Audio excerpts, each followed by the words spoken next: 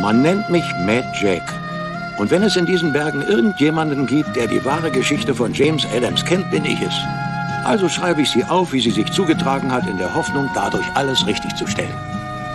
Mein Freund Adams wurde eines Verbrechens beschuldigt, das er nicht begangen hatte. Er floh in die Berge und ließ das Leben, so wie er es bis jetzt gekannt hatte, hinter sich. Nun ist diese Wildnis da draußen kein Ort für ein Greenhorn. Und seine Überlebenschancen waren ziemlich gering. Es dauerte gar nicht lange und er war total erschöpft und fast am Ende.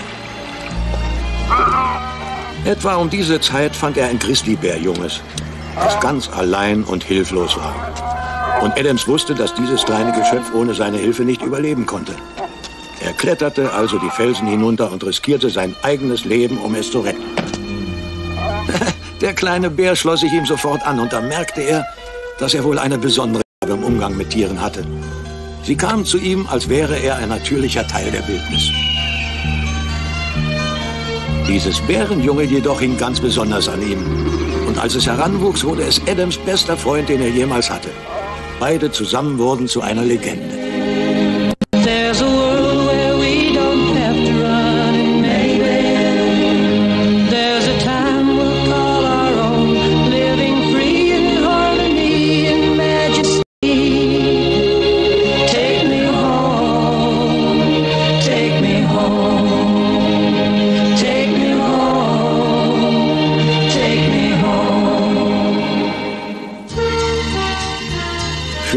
Wie meinen Freund James Adams und mich ist die Wildnis wie ein lebendes Buch, in dem jede Jahreszeit ihre eigene besondere Geschichte erzählt. Sommer, Winter und Frühling und ja, und der Herbst sogar eine noch speziellere. Denn wenn die Bäume anfangen, sich rot und golden zu färben, dann, dann liegt eine Art Zauber in der Luft. So stark, dass man ihn fühlen kann, einfach hinfassen möchte, um ihn einzufangen. Wenn man nur herausfinden könnte, wie. Siehst du die hier, Ben? Die geben dem Eichelkuchen, den du so gern magst, den guten Geschmack. Die anderen hier, die fast genauso aussehen, nehmen wir für den Cocktail. Ich weiß, sie schmecken nicht so gut, aber die sind gut für uns. Du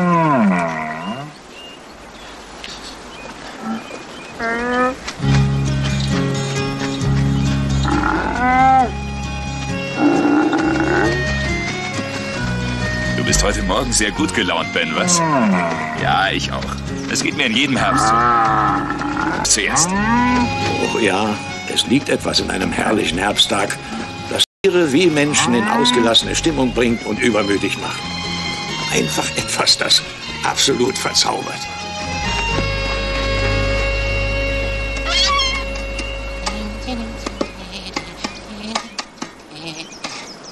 So, das hätten wir.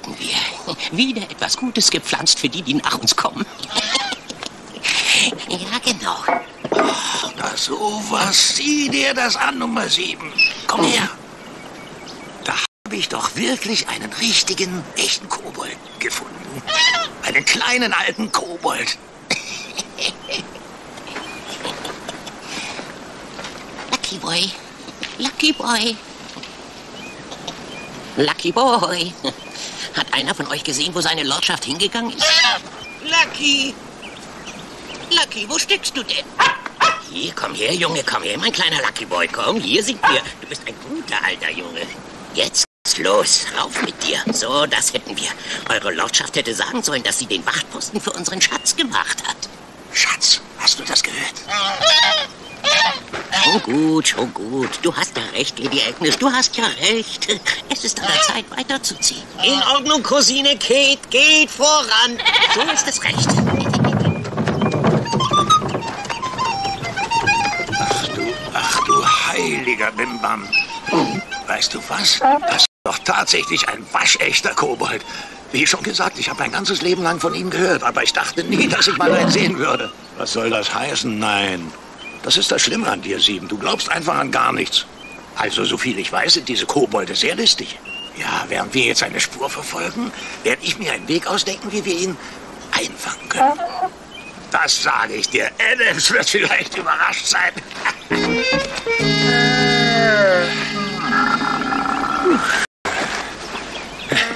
Diesmal hast du mich geschlagen, Ben. Aber das nächste Mal gebe ich dir nicht so einen großen Vorsprung. Was ist los, Ben? Was hast du denn?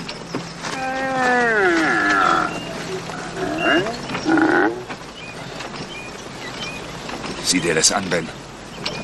Die wollen in einem Neuland ansiedeln. Das ist ein Anblick, was? Das sind Leute aus der Prärie.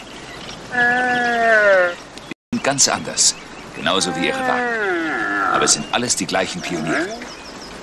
Sodashi, begat. Hallo, Nekoma. Ben und ich haben uns gerade die Leute da unten angesehen. Sie wollen sich eine neue Heimat suchen. Dokoji. Der Maulesel des Häuptlings ist wieder weggerannt? Das muss ja das... Dr Oveladi. Ja, Ben und ich würden es direkt als Ehre ansehen, dir den kleinen Kerl suchen zu helfen. Aha. Na komm, Ben.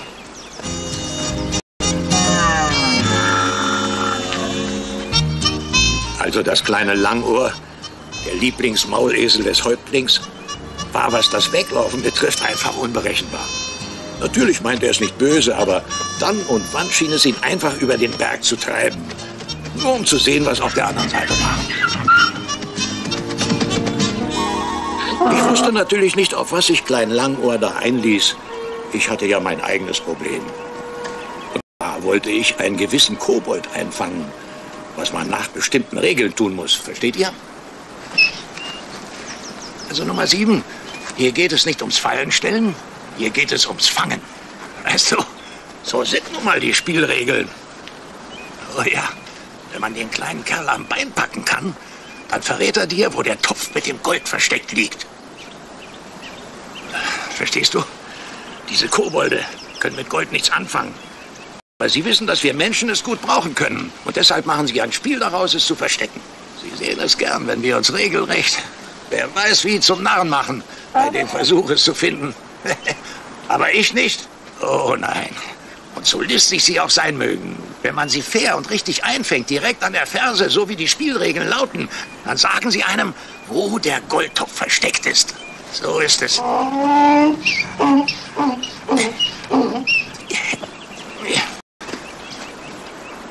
kommt er. Los, hierher.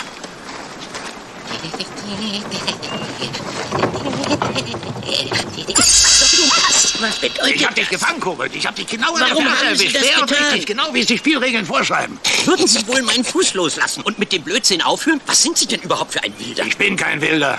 Ich bin ein Mann der Berge. Mein Name ist Metschek. Oh, den Namen haben Sie zurecht. Du bist ein Kobold. Hören Sie doch damit auf.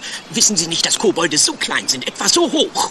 Ja, ein Kobold könnte Lady Agnes hier einen Sattel auflegen und sie in einem Hindernisrennen reiten. Sag's ihm, Lady Agnes, sag's ihm, ja? Du kannst mich nicht reinlegen. Ich hab nichts zu schaffen mit deiner Sattelgans. Also? Ganz ruhig jetzt, immer mit der Ruhe. Der Bursche ist total verrückt. Nehmt dich in Acht vor ihm.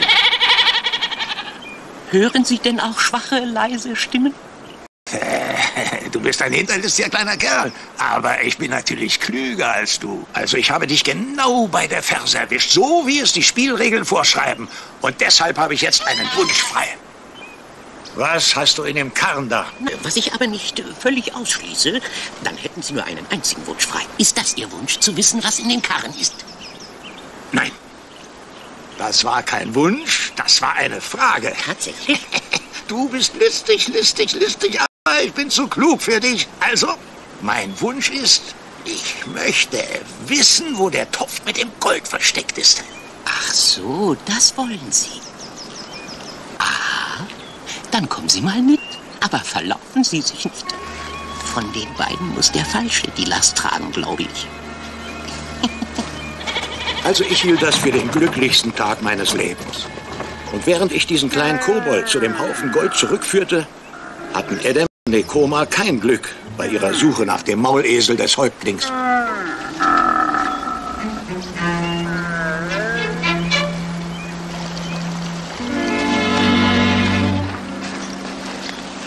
Hier ist es, da vorn, genau da.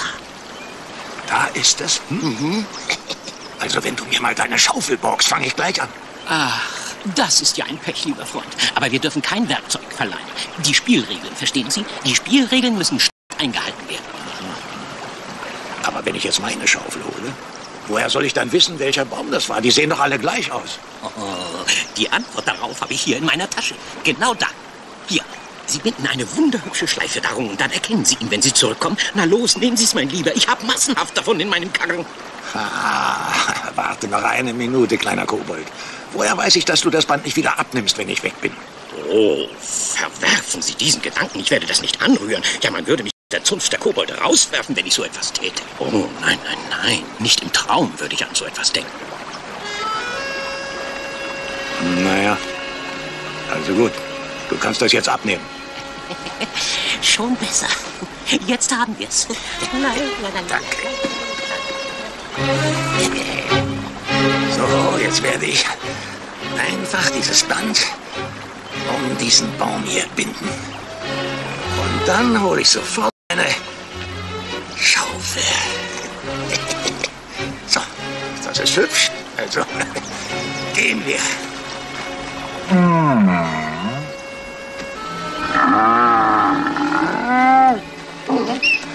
Hallo, Ben. Ist Adams hier irgendwo in der Nähe? Ich bin hier oben mit Nekoma. Suchen Langohr, du hast ihn nicht gesehen, oder? Nein, nein, äh, ich habe auch keine Zeit für Höflichkeitsfloskeln. Und den Maulesel des Häuptlings habe ich auch nicht gesehen. Aber ich sag dir, was ich gefunden habe. Ich habe doch tatsächlich einen lebendigen, echten, wahrhaftigen Kobold gefunden. Und ich habe ihn an der Ferse erwischt, wie es Vorschrift ist. Dafür hat er mir gezeigt, wo der Topf mit den Gold... Der hier ist echt, sag ich dir. Der kam hier den Weg runter mit einem einhörnigen Ziegenbock, der den Karren zog. Und mit einem großen, zottligen Hund und einer Sattelgans. Bala Schuhe. Aber Sten, Bala Lese. Mir ist kein Ast auf den Kopf gefallen. Wenn ihr mir nicht glaubt, mache ich euch einen Vorschlag. Ich führe euch zu der Stelle, wo der Topf mit dem Gold Du kannst auch mitkommen, Ben. Komm schon, Ben.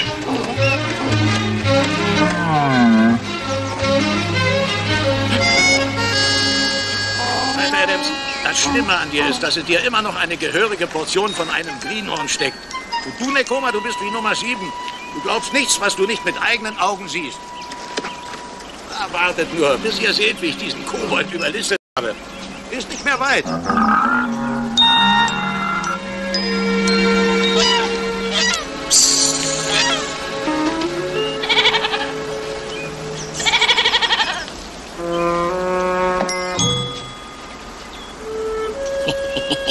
Das Glück der Iren.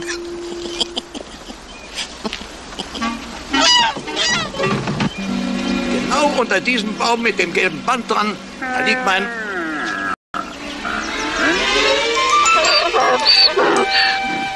Mein Topf mit Gold.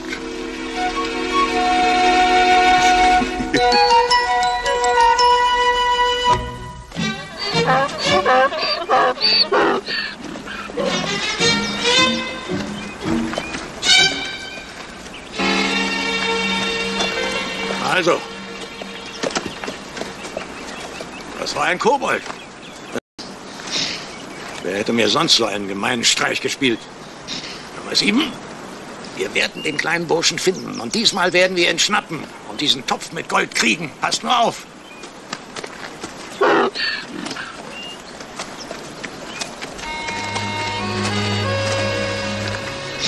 Also mir kam es so vor, als wäre dieser Kobold losgegangen und hätte sich einfach in Luft aufgelöst. Jedenfalls war er an keinem der Plätze zu finden, wo ich ihn suchte.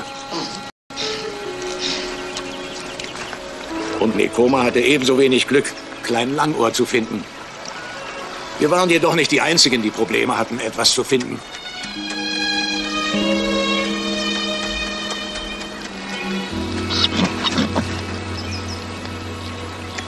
Er muss vor Sonnenaufgang losgegangen sein. Ich habe jetzt den ganzen Berg abgesucht und keine Spur von ihm entdeckt. Ach, ein sturer, dickköpfiger Mann ist das. Sicher, und du bist nicht anders als dein Vater. Wenn du nicht versucht hättest, ihn zu überreden, die Tiere zu verkaufen, wäre das alles nicht passiert. Die sind so lästig und stehen dauernd Kinder schon, dass er weg ist. Sie würden bestimmt nicht ruhig schlafen, wenn sie das wüssten.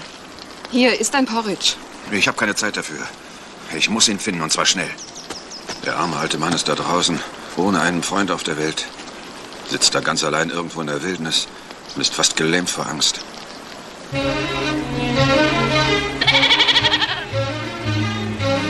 Schönen guten Morgen wünsche ich dir, Lady Agnes.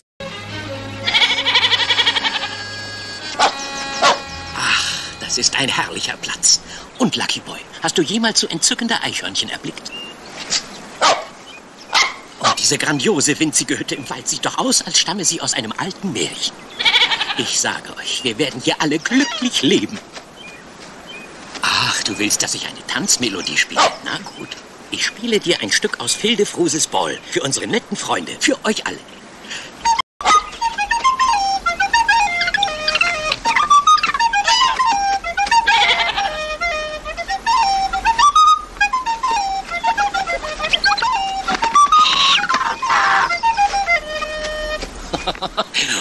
Du bist doch der größte Tänzer der Welt. Wirklich.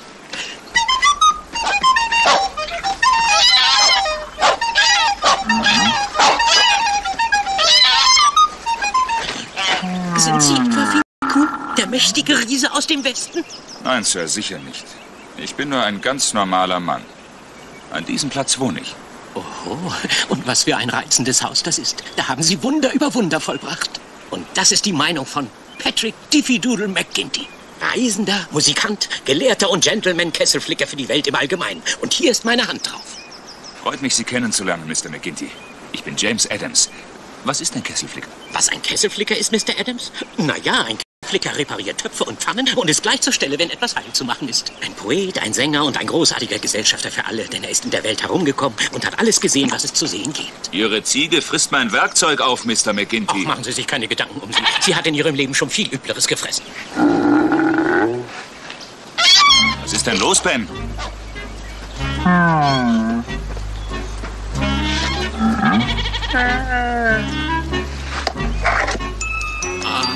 Es ist sicher wieder das Werk von der kleinen Gret.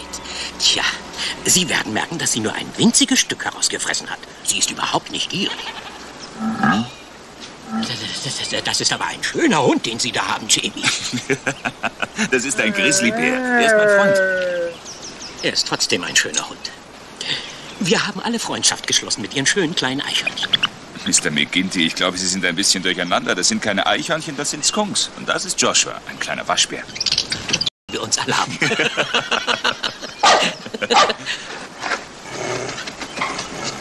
Und das ist Lord Lucky. Ein Limerick und ein fabelhafter Wachhund ist er auch. Oh, und das ist Lady Agnes. Wirklich eine liebevolle Seele und im Großen und Ganzen ein lauterer Charakter, aber neugierig. Oh, schrecklich neugierig. Mr. McGinty, Ihre Ziege ist auf meinem Dach. Ach, da machen Sie sich mal gar keine Sorgen, Jimmy. Ist sehr agil für ihr Alter. Wirklich sehr agil. Ach ja. Ist das nicht großartig, wie Sie sich alle niederlassen und es sich bequem und gemütlich machen? Wie eine einzige große glückliche Familie. Ja, schön, Mr. McGinty. Ben? Ich glaube, wir haben Jacks verlorenen Kobold gefunden. Der Lieblingsmaulesel des Häuptlings war in ein für ihn fremdes Gebiet gelaufen. Und er versuchte nun ein paar neue Freunde zu gewinnen. Aber er hatte nicht viel Glück.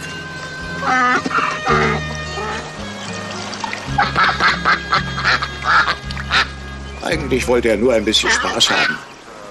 Aber diese Wildgänse hatten sich ihr Revier abgesteckt und waren nicht in Stimmung für Spiele.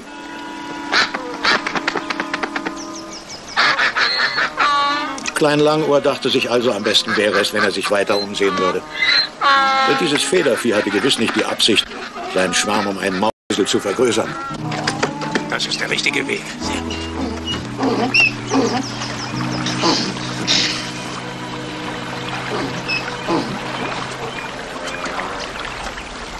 Ah, jetzt haben wir hier in den Bergen einen wunderbaren Platz gefunden, wo wir bleiben können. Und ich wette, dass uns von jetzt an niemand mehr vorschreiben wird, was wir zu tun haben. Nicht niesen. Nicht jetzt. Du darfst nicht niesen.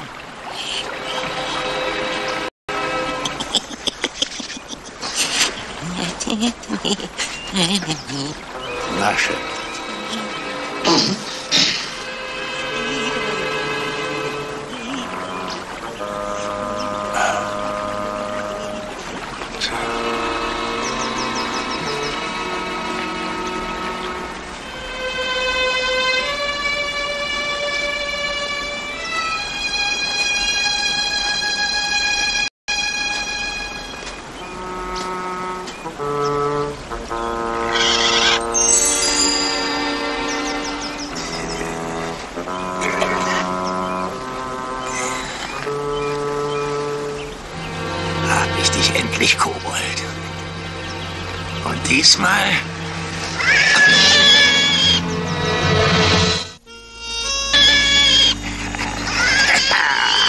Dich. Jetzt, jetzt, jetzt, jetzt, warte mal. Ruhig, ruhig, ruhig. Ich weiß zwar nicht, wie du dich verwandelt hast, aber ich lass mich nicht nochmal von dir reinlegen. Mr. McGinty, ich glaube, es ist an der Zeit, dass wir uns mal ein bisschen unterhalten. Unterhalten? Ach, Unterhaltung ist fabelhaft. Das ist die Musik der Freundschaft. Ich, Ich möchte Ihnen gern helfen. Aber ich weiß ja nicht mal, wo Ihre Schwierigkeiten liegen. Schwierigkeiten, Schwierigkeiten? Ich habe keine Schwierigkeiten, oder? Ich weiß, dass Sie und Ihre Freunde nicht allein hergekommen sind. Also muss da noch jemand anders sein. Oh, Sie, Sie, Sie, Sie wissen Bescheid über ihn. Ich hab's mir gedacht. Wollen Sie mir nicht alles erzählen? Ich mache noch etwas Besseres. Sie sind ein guter Mann, James Adams. Und genau wie ich können Sie wunderbar mit Tieren umgehen. Ich werde Sie also zu ihm bringen. Schon gut, Lucky, mein Junge. Nein, nein, nein, nein, nein, nicht tanzen, nicht tanzen. Das ist eine ernste Angelegenheit. Komm schon, mein Freund. Komm, Ben. Klein Langohr kannte sich in diesem großen, weiten Land auch nicht aus.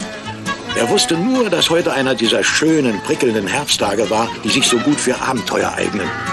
Und dass vor ihm eine ganz neue Welt lag, in der er diese Abenteuer suchen konnte. Es bedurfte allerhand Arbeit, aber hier in den Bergen gibt es keinen besseren Fährtensucher als Nekoma. Und schließlich fand er auch die Spur von Klein Langohr.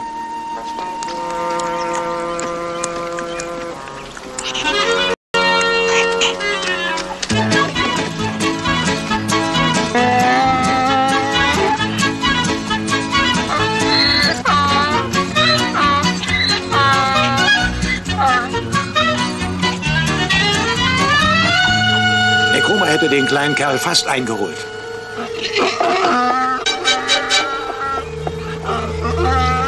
Ungefähr noch 100 Meter von ihm entfernt. Aber dann kam diese Hängebrücke, die beim Betreten jeden Moment runterstürzen konnte.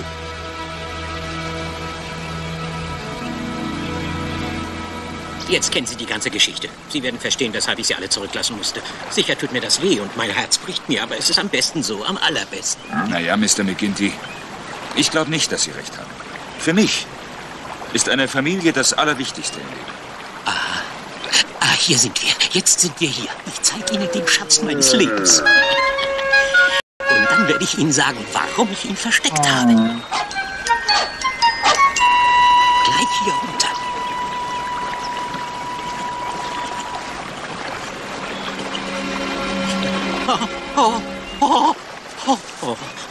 Was ist denn, Mr. McGinty? Er, er ist weg. Oje, oje, wo kann er denn hingelaufen? Hier. Bahnwurfs. Sie sind seit Generationen und Generationen in meiner Familie. Ich habe sie für meine Enkel aufgezogen. Oh, ich bin vernichtet. Das bin ich vernichtet. Wo ist er? Dann müssen wir ihn suchen gehen. Ben, ich brauche deine Hilfe.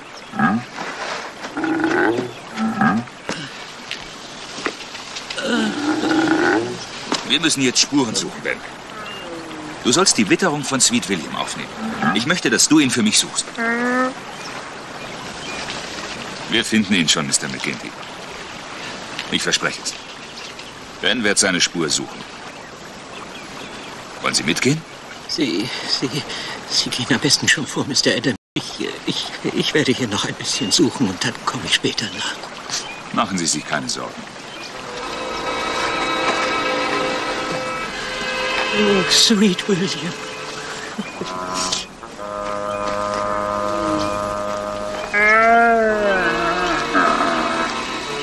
Was hast du gefunden?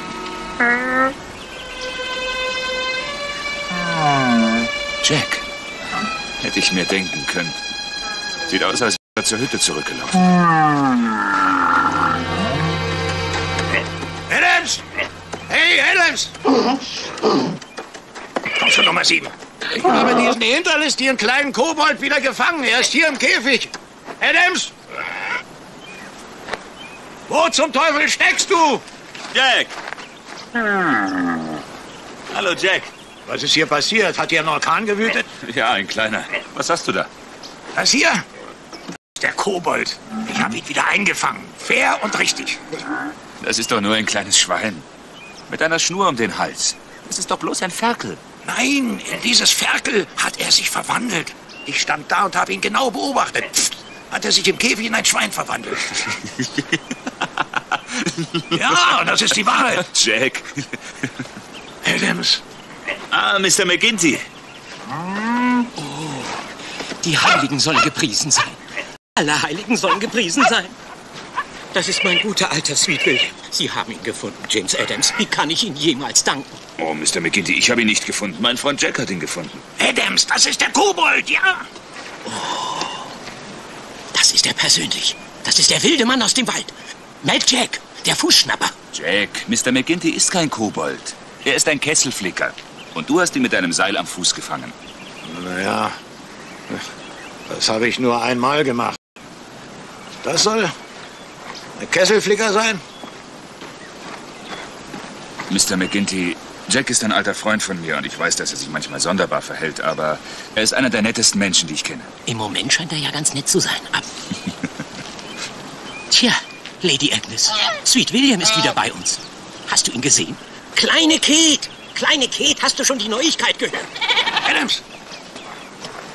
Bist du auch sicher, dass es kein Kobold ist? Er sieht doch wirklich aus wie einer. Also, Jack, das weißt du doch ganz genau. Es gibt keine Kobolde und keine Feen. Mr. McGinty ist einfach ein netter, kleiner, alter Mann mit einem wirklich großen Problem.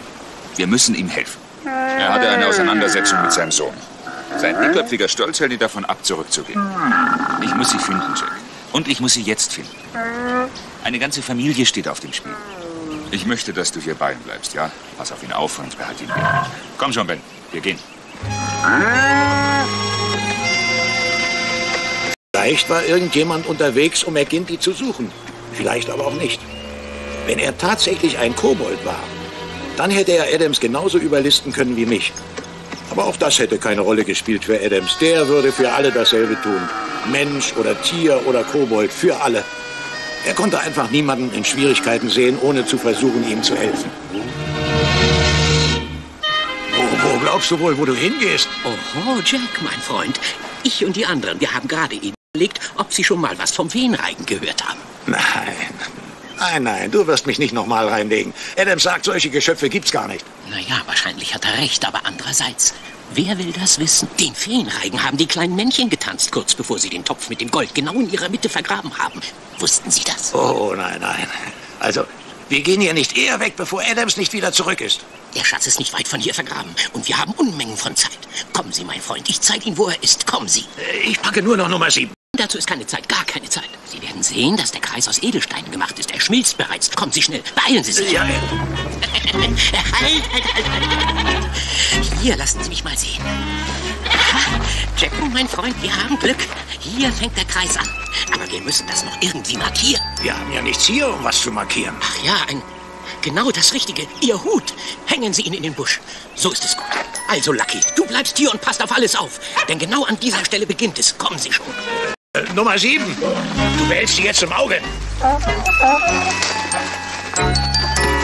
McGinty. Äh, Wie groß ist dieser magische Zirkel überhaupt? Ach, jetzt ist es nicht mehr weit. Nicht mehr sehr weit. Na, hoffentlich. Mir gehen nämlich langsam die Markierungszeichen aus. Na ja, äh, hängen Sie einfach Ihre Hose daran. Seien Sie bitte so nett. Wir haben keine Zeit zu verlieren. Adams hat gesagt, ich soll ihn auf keinen Fall aus den Augen lassen. Pass auf, McGinty! Autsch! Was haben Sie denn, Jacko? Hier, hier hinterlassen wir... Na, dann bleiben Sie genau hier stehen und ich lauf schnell zurück und hole was. Äh, Bleib nicht zu lange weg. Ich weiß. Ich, äh, ich stehe schließlich nicht gerne in Unterwäsche hier rum. Es hatte den Anschein, dass sowohl Nekoma als auch ich feststellen mussten, dass große Probleme in kleinen Paketen ankommen. Klein Langohr befand sich vor einer Schlucht, die durch einen Erdrutsch entstanden war. Und hinter sich hatte er diese alte, wackelige Hängebrücke.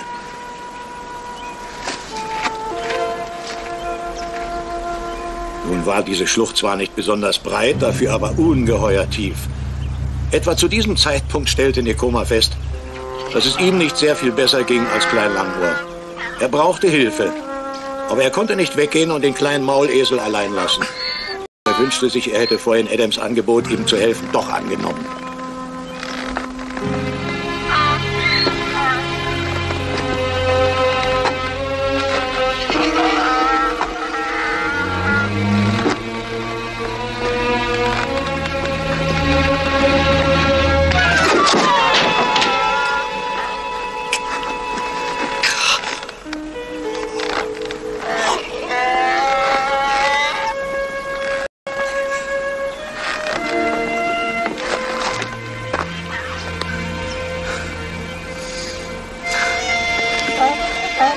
Presidenti!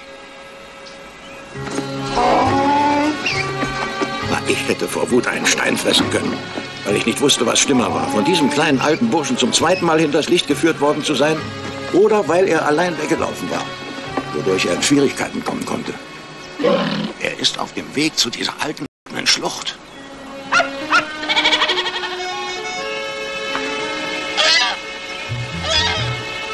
Du lieber Gott, er wird ganz bestimmt versuchen, diese wackelige alte Brücke zu überqueren und er... Wir müssen ihn aufhalten. So, das holen wir uns später. In Ordnung. Komm, Massi.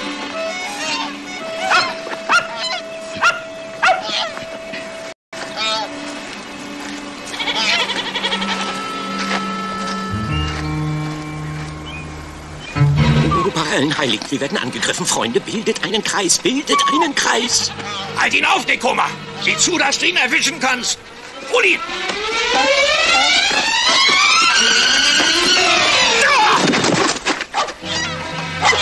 Oh, schon wieder dieser Fuß. Oh, mein Fuß ist wieder fest. Gigasch. Ach, das ist, äh, das ist äh, eine lange, lange Geschichte. Lass ihn los, Nekoma. Das ist Nekoma, Adams Blutsbruder.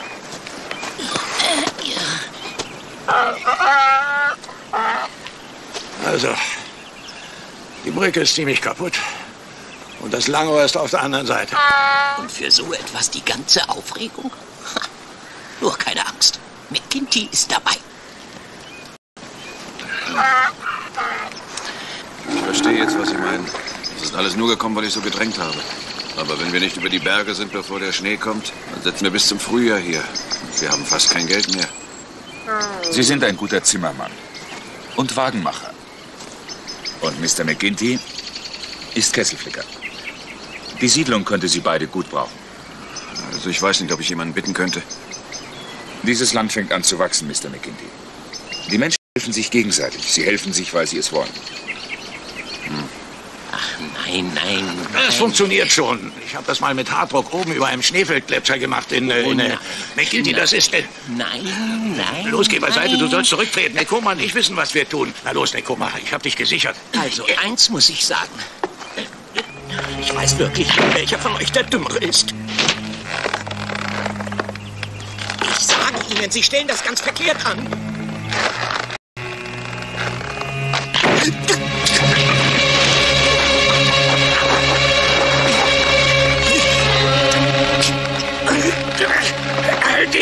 Nekoma! Ich halte dich! Hoffe ich. In Ordnung, Leute. Ich, äh, b- b- bleiben Sie, wo Sie sind. Gehen Sie nicht weg. McGinty wird kommen und das ganze Problem für euch lösen. Ja, ja ich mache das in guter Kesselflicker-Manier. Es bedarf eines Flickers, um zu wissen, was in so einer Situation zu tun ist. Meine Freunde, das ist nicht schwieriger als ein Spaziergang durch den Park.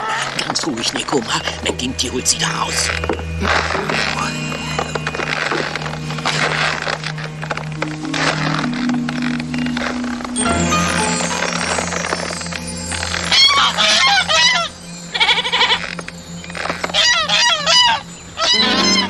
Selbst. Komm, Ben, schnell.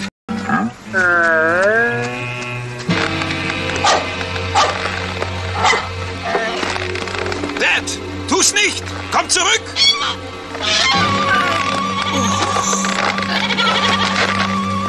Halt dich fest, Nekoma, wir holen dich da raus. Geh zurück, Jack, gib mir das Seil.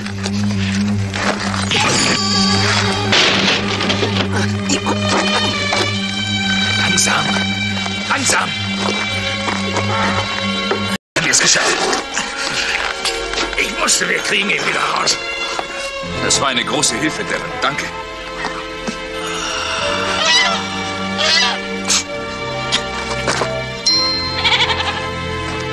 Nun zu dir, mein kleiner Bursche. Sei jetzt ganz ruhig. Wir werden darüber gehen. Sei ganz schön ruhig. Du musst ganz ruhig sein. Siehst du das? Du gehst genau da hinüber.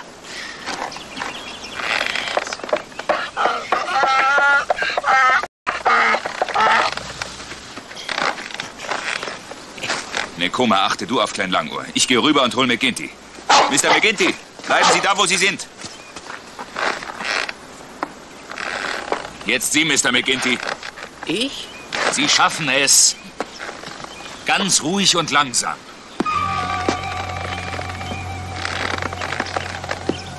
Langsam. Ich, ich, ich weiß nicht, Jamie, mein Junge. Ich glaube nicht, dass ich es schaffe. Du schaffst es, Dad. Du bist Patrick McGinty. Du schaffst alles. Bitte, Dad.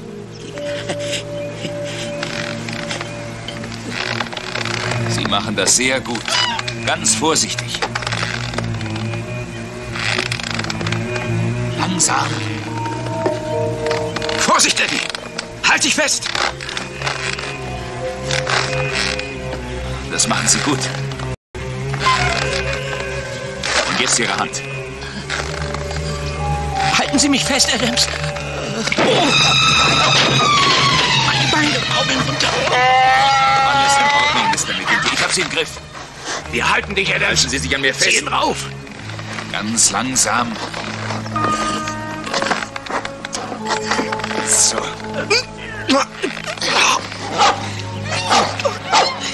Ja, immer noch der alte Schnapper, wie ich sehe.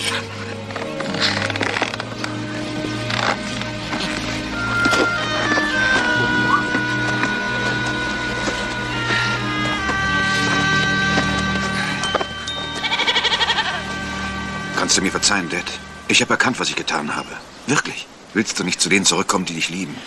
Also, wenn ihr mich liebt, müsst ihr auch meine Tiere lieben. Mr. Adams hat mich einiges über die Liebe zu Tieren gelehrt. Willst du mir nicht den Rest beibringen? Du bist vernünftiger geworden. Wir haben viel, wofür wir Ihnen danken müssen, Jamie, mein Junge. Ja, das stimmt tatsächlich. Wissen Sie, ich sage es sehr ungern nach allem, was Sie für uns getan haben, aber Ihre Hütte, die haben Sie ja total sich selbst überlassen. Also, wollen Sie nicht, dass wir vorbeikommen und alles wieder schön in Ordnung bringen? Ich würde mich freuen, Mr. McGinty, wenn Sie und Devon sich auf den Heimweg zu Ihrer Familie machen würden, die auf Sie wartet. er wäre ein großartiger Familien.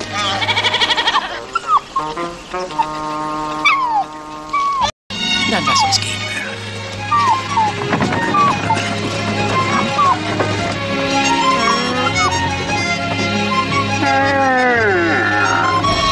Kobolde. Ja, er sah so aus wie einer und benahm sich wie einer. Außerdem, sieh dir das an. Hier, das hat er mir geschenkt. Für alle meine Bemühungen. Na, sieh dir das an. Tja, also, das ist wirklich nett, Jack. Ja, Ein hölzernes Geldstück. Das ist wirklich nett. was gefällt dir denn daran nicht?